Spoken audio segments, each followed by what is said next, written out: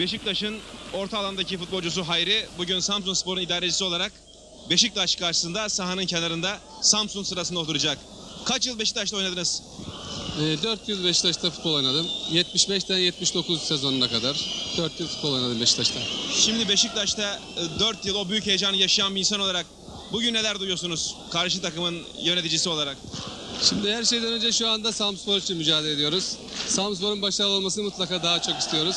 Ama Beşiktaş iyi oynayan tarafın kazanmasını istiyorum. Geçen hafta çok güzel bir çıkışın vardı. Bundan sonra Beşiktaşlı taraftarlara neler söylersin?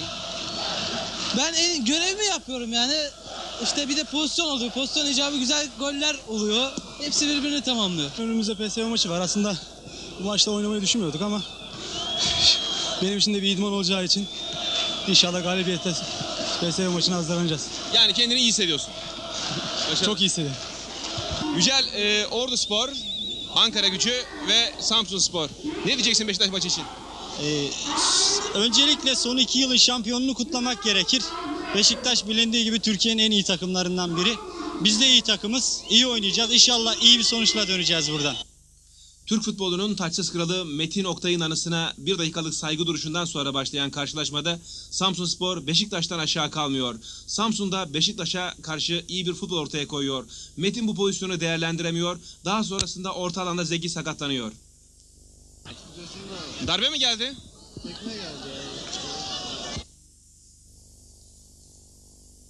Kaleci Hulusi Feyyaz son anda dokunuyor ama Hulusi başarılı gol şansı vermiyor Feyyaz'a. Ve atak Samsun Spor'un. Bünyamin'in pasından Milinkovic atak yapıyor. Kadir de arkasında ama Bakor'un hareketi penaltı maçın hakemi Metin Tokat. Milinkovic dakika 27 top Beşiktaş kalesinde ve Samsun Spor deplasmanda 1-0 önde Milinkovic'in penaltı golüyle.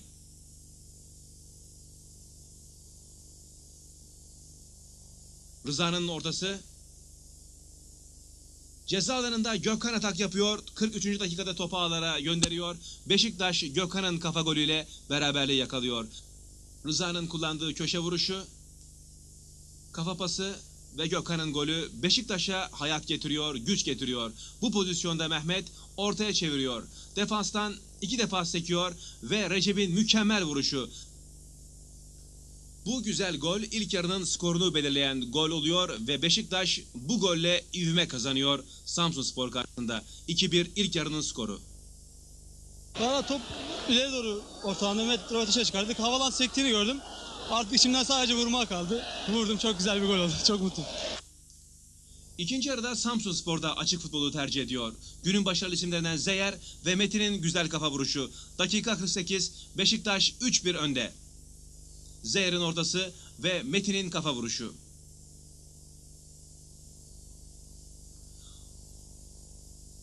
Genç futbolcu oyuna ikinci yarıda giren Sergen Mehmet'e bu golü adeta attırıyor. Dakika 65 gol pasını veren Sergen golü atan Mehmet Beşiktaş 4-1 önde.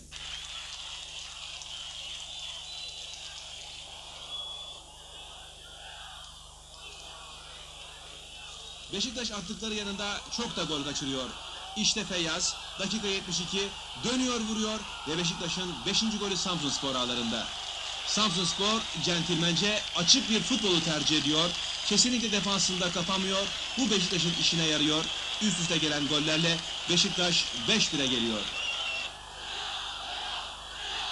Samsun Spor'un atakları kaleci Bako. Bir Beşiktaş atağı daha Metin Kaleci ile karşı karşıya. Top Hulusi'de kalıyor. Maçı Beşiktaş 5-1 kazanıyor.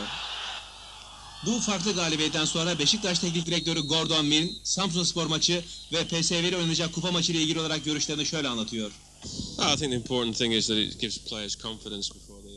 Önemli olan Eindhoven maçı öncesinde futbolcuların moral kazanması. Oynayabileceğimiz kadar iyi oynayamadık. Lig daha yeni başladı. Her geçen gün daha iyiye gidilecek. Bugün çok önemli fırsatlar kaçırdık. Aynı şansları Eindhoven'da da yakalamak ama bu sefer e, golle değerlendirmek istiyoruz. Defans oynayan takımlar karşısında zorlanıyoruz. Bir de maçı yenik götürüyorsanız futbolcular da başlıyor. İkinci gol çok önemli, iyi zamanda geldi. Aslında birinci gol, daha doğrusu her gol de önemli. Oynamamız gereken kadar iyi oynayamadık. Ve Samsun Spor özellikle ilk yarıda çok çalıştı ve de bunda da başarılı oldular. Ve bu karşılaşma Samsun Spor açısından bir maçtı. Çarşamba günü PSV Eindhoven'la kupada karşılaşacağız. Kupadaki mücadelelerle ligdeki karşılaşmalar birbirlerinden çok farklıdır. PSV Eindhoven çok kaliteli bir ekip, iyi futbolcuları var ve sezona da çok iyi başladılar. İlk 3 maçlarını kazandılar. Biz kapasitemizin sonuna kadar oynayacağız. Elimizden gelen her şeyi yapacağız İstanbul'da. Avrupa futbolunda farklı durumlar var. Ve siz kupa maçıyla lig maçını ayıracaksınız.